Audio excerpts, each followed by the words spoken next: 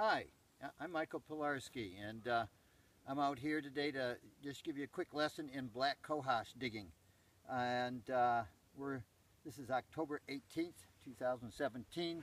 Hardly any rain. The ground is really dry. This is not irrigated. It's 16-year-old planting, and it hasn't been watered or weeded or tended for you know 10 years or something. So it's on its own and it's persisting very well because we're in a 25 inch rainfall zone, uh, maybe even 30 inch on the near the Canadian border on the upper Columbia River on the Columbia River just below the Canadian border. And uh, so this is we could even it hasn't been grown in the woods, but in the fact that it's sort of been a, in abandonment, um, it's relatively close to a, we might say woods grown. So here we have here we go step one. Here's where we're, the row we're working on. So I cut the stems off and to prepare the ground here. Step two is to rake the area really thoroughly. This is a particularly bad patch of quackgrass mixed in here. All those yellow leaves, a little hard to see what I'm doing. This is there hasn't been, this is the first path we've run into today, but we can see there's a bunch out there. So there has been weeds gradually moving in, but the cohosh is so established, there's no stopping it. So takes a bit of raking. I really like to get all the debris off. Like here, it's been ra raked, and we get rid of all, almost all the debris. There's a little bit of some green uh, Polygonum aviculare. So the next step is to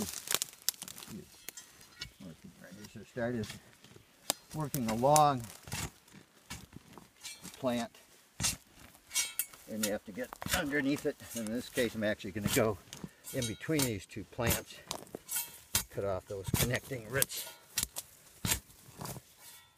Notice the heavy duty steel shank one piece steel nursery spade here. It's actually a tree planting tool.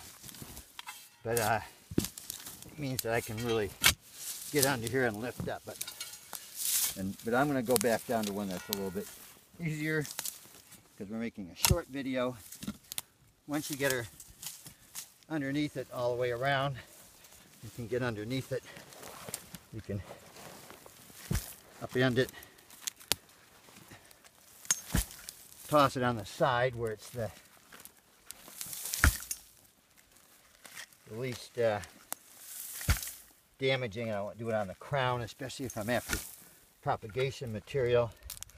See, there's a lot of, you know, I get a bit of root with those buds. That's I didn't get enough root with that. I just broke it off. But you can do this very, I can get a lot of starting material here. I figured out that if you cut off all the main roots, leave a, a bit of root, you get as much for the propagation material as for just selling it as root mass. Maybe a little better. So there, that one's ready to go to the washing table, which we won't, maybe we'll get to that later, but we lay that on a washing table, spray it really good, then I take a hatchet or a big knife and I cut that into probably six pieces and shake all those out, wash it again, and that's about what I ship to the customer. We're going to get rid of almost all the dirt.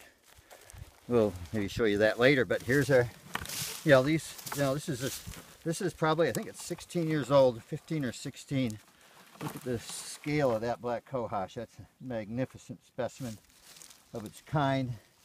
We've got about 2,000 pounds left if anybody wants any. Bye. How's that?